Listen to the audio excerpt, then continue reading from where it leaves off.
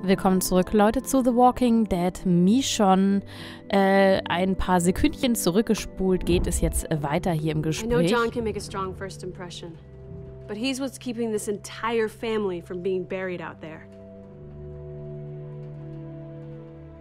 You gotta fight like hell for what you care about, right?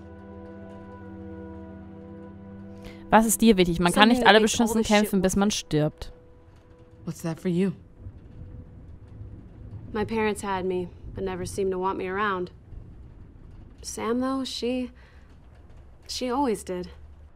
God, I hated her guts when I first met her. She used to pick on me all the time. Thought she was tough shit. Little did she know, I was tough shit too.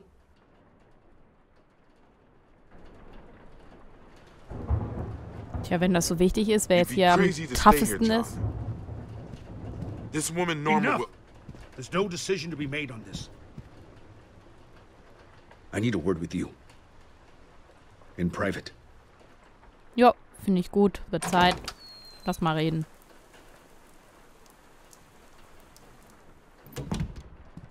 Kann die taffe Freundin bei der taffen Freundin bleiben.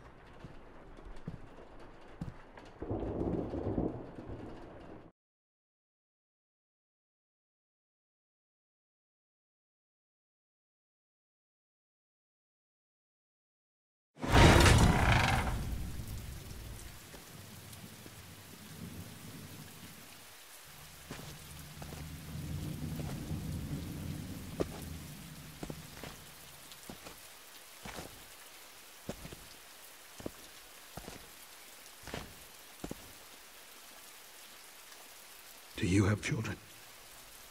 Nein, tue ich nicht. Zwei? Töchter, das geht dich nichts an. A daughter? I do. Two little girls.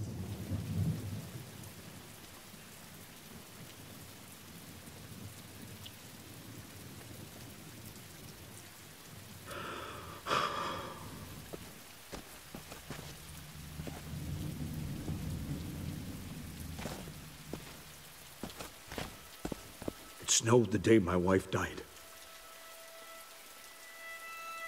Her heart gave out. Sam found her. She. She passed in her sleep. We buried her so the boys wouldn't have to see her like that. The snow. It covered Mein her Beileid. Ich habe gehört, dass sie sich umgebracht hat. Sie haben Erased nichts von ihr erzählt. like she'd never been there at all. I'm really sorry for your loss. Thank you. I've tried to focus on our kids. But the past, it always seems to find you.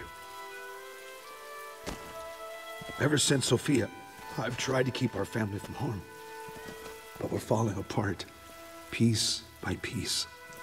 And now that Sam's hurt, and Greg's. I could really use your help. Your friend Pete told me all about Norma. About what happened. If she finds us, Du hilfst mir und ich helfe dir. Ich werde tun, was ich kann. Es tut mir leid, aber unsere Crew ist noch draußen. Sam said you could help me. If you do that, I'll give you guys a hand. Anything, whatever you need.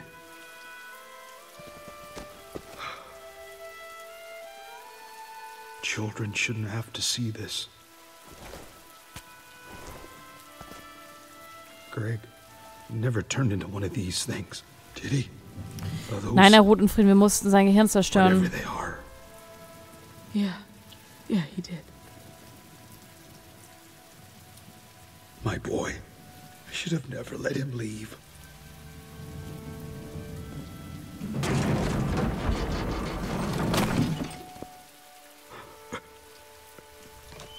Waren da nicht voll die äh, Streuner davor? Die Walker? Die waren doch da alle noch vom Zaun und wollten rein. Sind die jetzt einfach alle weggegangen? I. I'm sorry. I'm trying to keep it together. But what if you just found out your daughters were dead? Ja, dann äh, halluziniert man im Michons Fall. And you weren't there. You were Ich muss miles stark bleiben. Rede nicht über meine. Kinder. Es gäbe keinen Grund zu leben. How would you feel? Your kids need you to stay strong. You. You're right. I'm all they have. Oh mein Gott. Nein. Peekaboo. Fuck. Fuck. Ich fasse es nicht. Er sagt doch gerade, er muss stark für seine Kinder bleiben. Bam. Find her! Scheiße. Damit habe ich ja jetzt nicht so extrem gerechnet. Boah, ey. Solche Arschlöcher.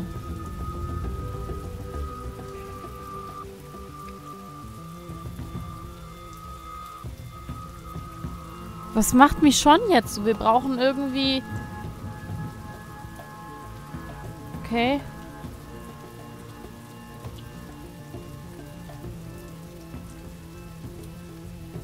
Mache ich jetzt.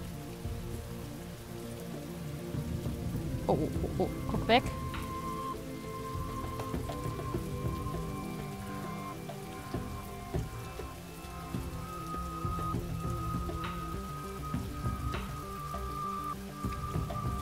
I'll take the one near the garden.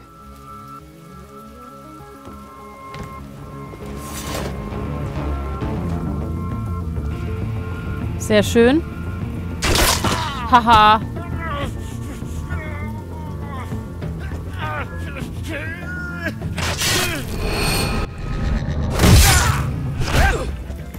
Was, das überlebt der?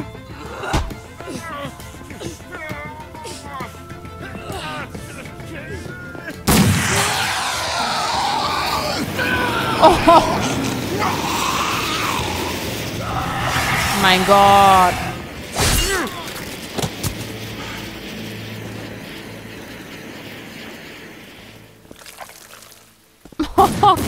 Krass. Nein.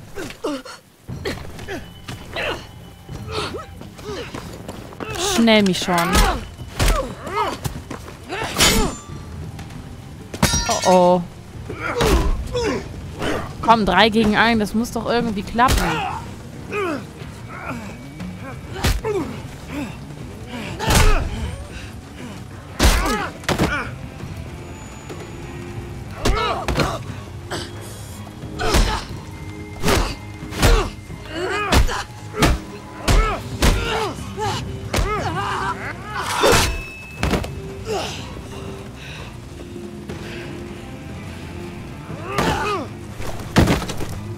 Schnell, schnell, schnell. Wie schon werde ich. Ah. Boah, ich glaube, er hat ihre Schulter ausgekugelt. Oder?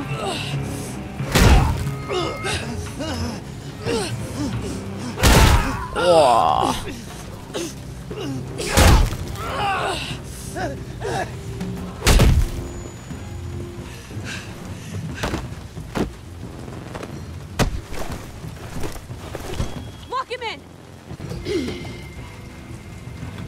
Ja. Ich drehe, ich kurbel. Aber irgendwie passiert nichts. Achso. Ich sollte gar nicht kurbeln. Oh, jetzt sind sie aber auch hardcore zu ihm, ey. You all right? Not dead yet. Uh, uh, you?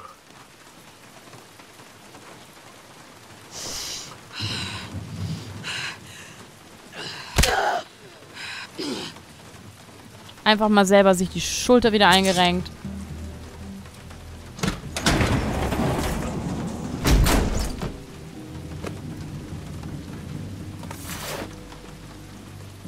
So, jetzt ist er fällig.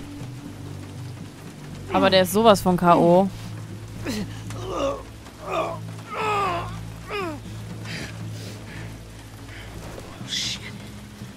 You must be pretty proud of yourself, huh? Mach es nicht noch schwerer. Ich stelle die Fragen. Dreh den Strauchschuh Think enger. I'm asking the questions here. Say now, won't this be fun? That's up to you.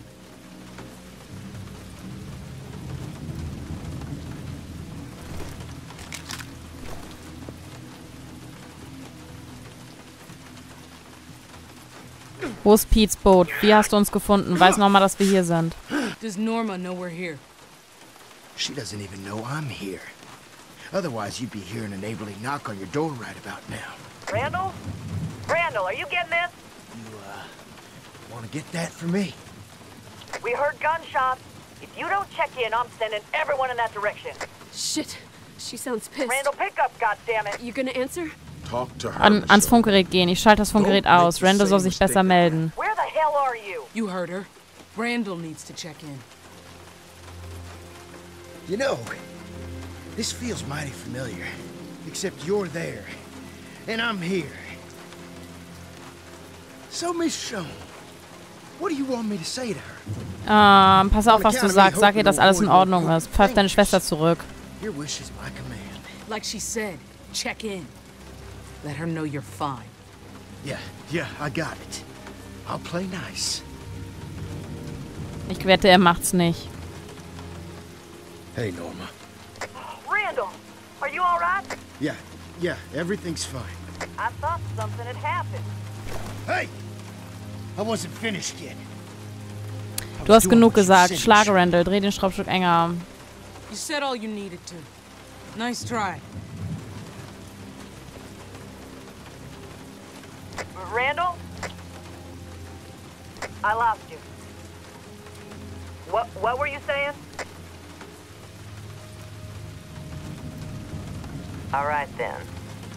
Check in on you soon. You ping me if you find her. Huhu. You're Hoffentlich geht das huh? gut. Norma will know something's wrong soon enough. And if I can find you, she'll find you. Ja, aber für den Moment. You know, this alone time, you and me together, it's been real nice. But that all ends when my sister gets here. Bäh, I'm gonna take that wrench and break your skull.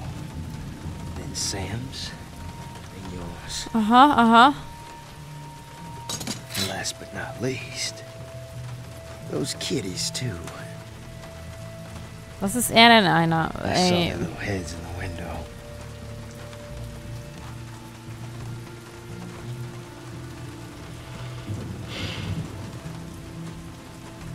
Schlage Randall. Dreh den Schraubstock You know, enger. their skulls don't break so much as kind of melt.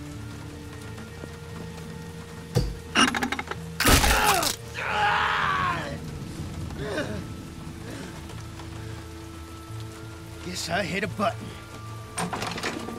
Michonne? Hey now, don't you two look like your daddy? Back when he still had a face. Boah, ey, er ist doch so ein Arsch. Wie schrecklich für diese Kinder, ey.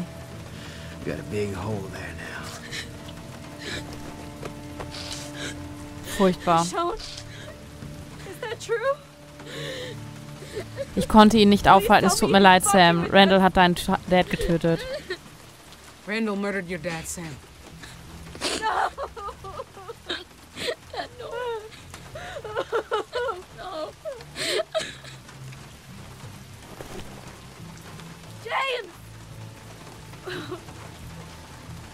Killed my dad, then why isn't this son of a bitch dead? First good question asked all night. Auf seinem Niveau lasse ich mich nicht herab. Er wird bald sterben. Er ist ein wo- wertvolles Druckmittel. Randall has more value if he's alive. Gives us something to bargain with when Norma gets here. Listen to me. That won't work. They only bargain with bullets. All she wants is her brother back. That's it. We're out of the equation. You need to kill him, or I will. Sam, wait! Schwierig. No matter what I say, you're just gonna do whatever you want anyway. I know you've already made up your mind. Nee, eigentlich nicht. Also, ich jetzt persönlich nicht. Ich habe keine Ahnung, was ich gerade machen soll. Well, ain't I the belle of the bar? Well, maybe that's you. Because when this dance is over, you're fucked. Kill me, and Norma hunts you down until you're all dead. Fucked! Let me live, and I do even Ja, jetzt lass mal deine scheiß Drohungen sein, echt. But we both know how this is gonna end, Michonne. You like killing. And you'd like killing me, you? Und nein, jetzt muss ich es entscheiden. Du, dir geht es doch genauso. Da liegst du falsch. Ja, das würde ich gerne tun. You won't hurt my feelings. You're wrong, Randall. Am I? Or maybe, maybe you think you can rise above all that. But there ain't no heaven up there, honey. And there ain't no hell down below. There's only this shit every day until ah Oh she ja, Randall, du bist doch so ein kluger, schlauer, weißt alles besser. You get up, Wir können es besser machen. Komm endlich zur Sache. walk. You got a point, get to it already. On my way, darling. Hä, was, was? This is the world your kids are dying in, Michonne. Jetzt halluziniert sie wieder. Ganz ungünstiger Zeitpunkt mal wieder. in that fucking purgatory. Don't talk about them. Either way, they're suffering.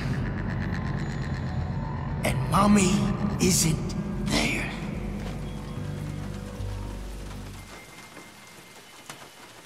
We all have our demons, honey. Oh. Some. Ich lasse den Schraubenschlüssel fallen, aber bestimmt macht es mir jetzt gerade keinen Spaß. Glaubt's mir. Kind of mother brings a child into this mess. Und je mehr er von Kindern spricht, umso mehr erinnere ich mich daran, dass das ähm, kein vorbildliches Verhalten ist. Guess that means dance is over. Oh well. Norma will be here soon. Your funeral. Ja, das ist die Frage. Wenn tatsächlich irgendwie es unser Begräbnis wäre, dann wäre es auch egal gewesen, wenn wir ihn töten. Dann ist es natürlich die falsche Entscheidung jetzt gewesen. Aber wenn wir eine Chance haben zu leben und sie halt einfach sieht, er ist noch am Leben und wir haben ihn nicht getötet, dann ist es halt genau dieselbe Situation, wie sie andersrum auch war. Da waren die anderen gefangen und konnten nichts machen. Jetzt ist es eben so rum. Ja. Nächstes Mal bei The Walking Dead Michonne. I spent a lot of time in low, low places.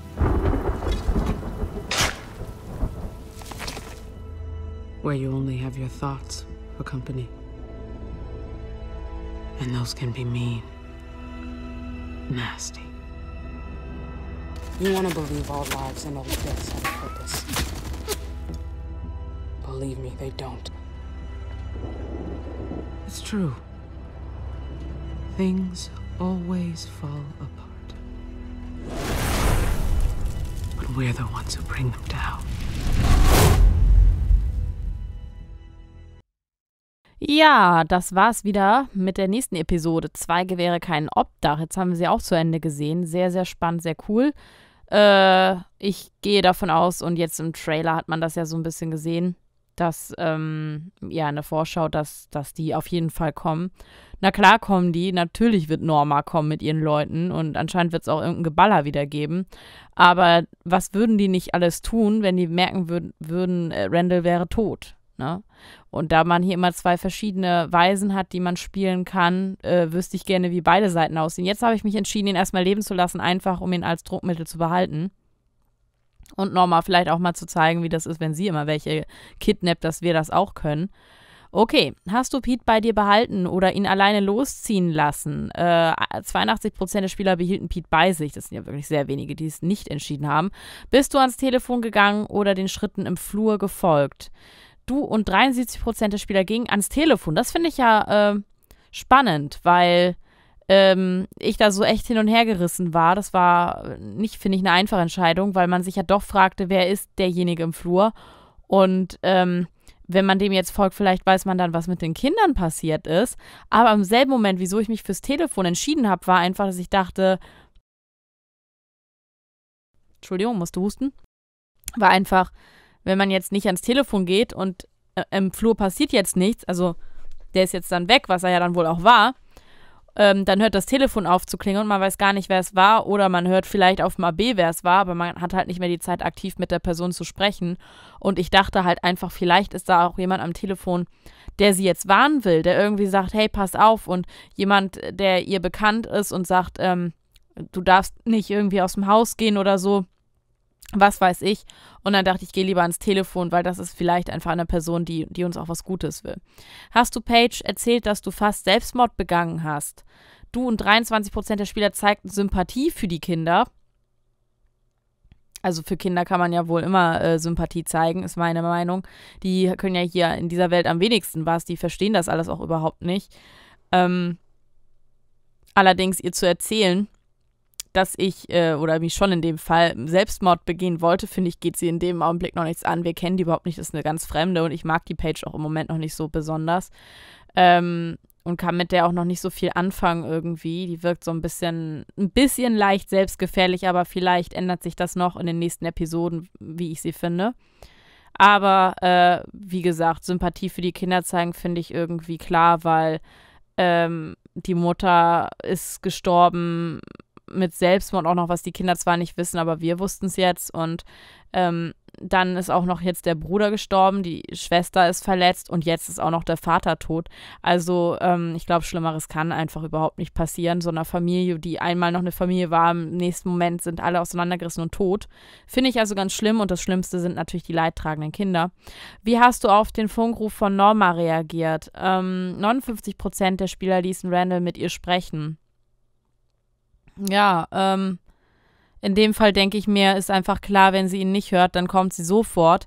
In dem Moment, wo sie zumindest hört, ach, Randall, dem geht's gut so, dann macht sie sich vielleicht Gedanken, wundert sich, dass er nicht redet, aber so, er kann halt gekidnappt sein, aber er sagt, es geht ihm gut. Also da verschafft man sich einfach vielleicht nochmal ein bisschen Zeit und ich hätte vielleicht sogar noch ein bisschen länger dranbleiben können am Telefon, habe ein bisschen zu früh losgelassen. Fand ich übrigens sehr cool, diese Optionsmöglichkeit, das selber so zu bestimmen, als wäre man wirklich dabei. Aber ähm, naja, ich habe halt sehr schnell aufgehört, weil ich dachte, bloß nicht zu viel sagen. Hauptsache, er sagt schnell, es geht äh, ihm gut, weil ich halt Angst hatte, dass er vielleicht dann ganz schnell sagt, äh, Norma, ich bin gefangen und ähm, das könnte er locker ganz schnell tun. Und da ist die Katze so schnell aus dem Sack und dann dachte ich, so hat er dann schnell den Satz gesagt und sie wundert sich, Zeit verschafft. Naja, was hast du mit Randall getan? Du und 47 Prozent der Spieler zeigten ihm gegenüber Gnade. Ich denke, das ist sehr, ja, man sieht es fast 50-50 und das nächste Mal würde ich ihn vielleicht sogar töten, um zu sehen, was dann passiert. In dem Fall haben wir ihn, wie gesagt, leben lassen, habe ich ja gerade schon erwähnt, ähm, um ihn als Druckmittel zu behalten, nicht weil ich ihn, ähm, nicht, weil ich ihm gegenüber irgendwie gnädig sein will oder so. Ich finde, der verdient gar nichts. Ähm, sondern wirklich einfach, ähm, um die Kinder zu schützen. Ich meine, letztendlich sind die jetzt schon wieder in Gefahr, weil die jetzt da bald ins Haus, da beim Haus kommen und da äh, Remi Demi machen, Norma und so. Und in dem Fall ist es halt einfach, ähm, weiß ich nicht, was die mit den Kindern machen würden oder auch mit den anderen halt. Mich schon selbst halt auch, wenn die wüssten, wir haben Randall getötet. Aber gut, so ist jetzt die Entscheidung gewesen. Bin äh, gespannt, was als nächstes passiert. Ihr hoffentlich auch und äh, mal schauen, was als nächstes passiert.